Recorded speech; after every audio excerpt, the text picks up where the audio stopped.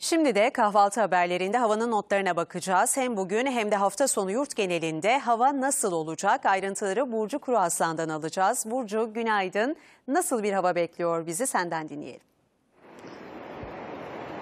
Günaydın Pelin. Öncelikle bu sabahtan bahsedeyim. Biz yine İstanbul sahilinde Balta Limanı'ndayız ve gerçekten soğuk, rüzgarlı bir hava var. Derece 13 dereceyi gösteriyor hava sıcaklığı ama hissedilen çok daha düşük diyebilirim. Özellikle bu sabah evden çıkacakların akşam saatlerinde de işe döner, işten dönerken de soğuk olacağını ve yağmurlu olacağını düşünüp e, biraz kalın giymelerinde montlarla çıkmalarında fayda var. Çünkü birkaç gün önce biliyorsunuz bir bahar havası yaşıyorduk.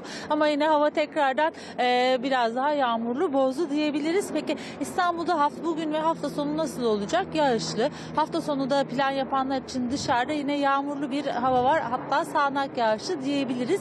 Meteorolojinin de bu noktada özellikle Marmara ve e, kıyı Ege ile ilgili sarı kodlu bir uyarısı var. Bu uyarıya göre de Yine e, bu bölgelerde sağanak yağışlı kuvvetli bir fırtına bekleniyor e, hafta sonu. E, pazar akşamına, e, cumartesi akşamına kadar geçerli olacak bu uyarı. Şimdi Türkiye haritasına baktığımızda bugün e, neredeyse e, ülkenin e, batısı e, Ege Marmara, Ege'nin iç kısımları tamamen sağanak yağışlı. İç Anadolu parçalı bulutlu görünüyor. Yine Karadeniz'in batısı, doğusu ve ee, Doğu Anadolu'da da parçalı bulutlu bir hava hakim olacak. Ancak cumartesi günü bu e, Marmara'daki e, ülkenin batısındaki bulutlar yağ, yağış taşıyan bulutların Türkiye'ye yayılması e, öngörülüyor şu an meteorolojik haritalarda ve ülkenin genelinde neredeyse tüm şehirlerde sadece en doğu sınırımızdaki şehirler dışında hepsine sağanak yağış olacak.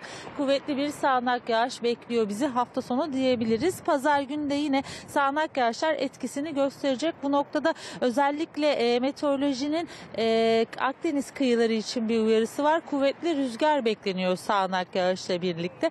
Pazar günü sabah itibaren ise özellikle e, Marmara'daki yağışlar devam edecek ama Trakya'da ve Ege'nin e, kıyı kesimlerindeki yağışlar yerine parçalı bulutlu bir havaya bırakacak diyebiliriz. Bu hafta sonu özellikle e, plan yapacaklar için yağmuru e, dikkate almalarında fayda var. Çünkü gerçekten şu anda hava serin. Hafta sonunda yine parça, e, sağanak yağışlı bir e, hafta sonu geçireceğiz. Ülke genelinde diyebilirim. Pelin sözü yeniden sana bırakalım.